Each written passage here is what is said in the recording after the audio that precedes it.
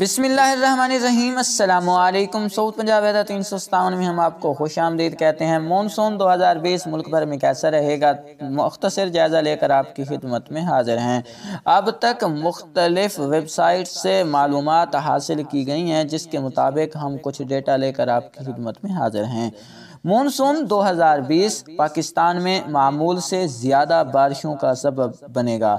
Monsoon ایک موسمی اصطلاح ہے جو سب سے پہلے انگریزوں نے برصغیر میں استعمال کی جب وہ یہاں اپنے قدم جما رہے تھے۔ مونسون انگریزی زبان کا لفظ ہے جس کی جڑیں پرتگیزی زبان کے لفظ مونکاؤ اور عربی و ہندی زبان کے لفظ موسم میں ہیں۔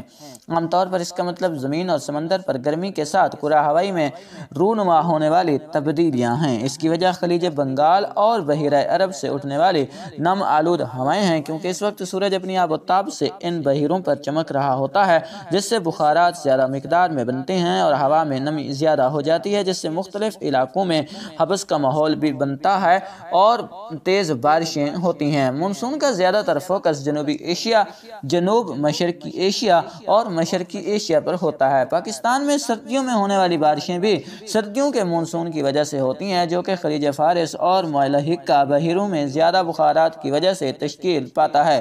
جنوب مشرقی بھارت میں پری مونسون کی بارشوں کا آغاز ہو چکا ہے، کیونکہ اس وقت سورج اپنے آبوتاب کے ساتھ شمال کی طرف حرکت کر رہا ہے، جس سے خلیج بنگال اور بحیرہ ہند میں بخارات بننے کا عمل شروع ہو چکا ہے۔ اس سال پاکستان میں مونسون جون کے پہلے یا دوسرے ہفتے میں انٹر ہوگا۔ امکان ہے کہ جبکہ امکان ہے کہ اس بار معمول سے زیادہ بارشیں ہوں۔ جبکہ اس میں شدت جولائی اور اگست کے مہینوں میں دیکھی جائے گی۔ مونسون ویسے تو بہت سے موسمیاتی عوامل اس کو مدد کرتے ہیں، مگر دو عوامل بہت اہم ہیں۔ ایک I O D, Indian Ocean dipole اور دوسرا ایل نینو یا لانینا ایل نینو اگر زیادہ ایکٹیو ہو تو مونسون کے دوران بارش کم ہوتی ہے۔ اگر ایل نینو کمزور حالت میں ہو تو مونسون کی بارش معمول سے زیادہ یا معمول کے مطابق ہوتی ہے۔ جیسا کہ دو ہزار انیس میں ہو چکا ہے، جبکہ لانینا معمول سے زیادہ بارش بارشوں کا سبب بنتا ہے۔ اس سال منسون کے پہلے حصے کے دوران ایل نینو اور آخری حصے میں لا نینا کے ایکٹیو ہونے کا امکان ہے۔ جبکہ ماہرین کے مطابق اس سال بھی دو ہزار انیس کی طرح Indian Ocean dipole positive رہنے کا امکان ہے، جس سے زیادہ سرکولیشن سسٹم بنیں گے اور زیادہ بارشوں کا امکان ہے۔ اس بار پاکستان میں معمول کے مطابق یا معمول سے زیادہ بارشیں متوقع ہیں۔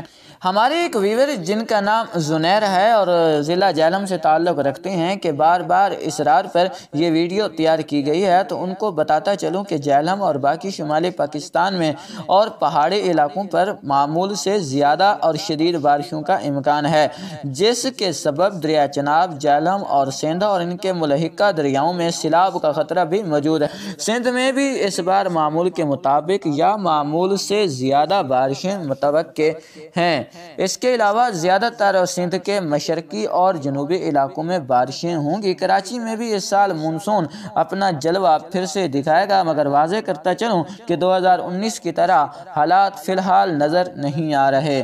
اس بار شمالی اور مغربی سندھ میں بھی اچھی بارشیں متوقع ہیں۔ جنوبی پنجاب میں معمول کے مطابق بارشیں متوقع ہیں، جبکہ وسطی شمالی اور مشرقی پنجاب میں معمول سے زیادہ بارشیں متوقع ہیں۔ کشمیر اور گلگت میں معمول سے زیادہ جبکہ کے پی کے اور بلوچستان میں معمول کے مطابق یا معمول سے کم بارشیں ہو سکتی ہیں۔ مونسون کی مزید معلومات اور روزانہ کی موسمی معلومات کے لیے جڑے رہیں ہمارے ساتھ۔ اگلی اپڈیٹ تک کے لیے ہمیں اجازت دیں۔ اللہ نگہبان۔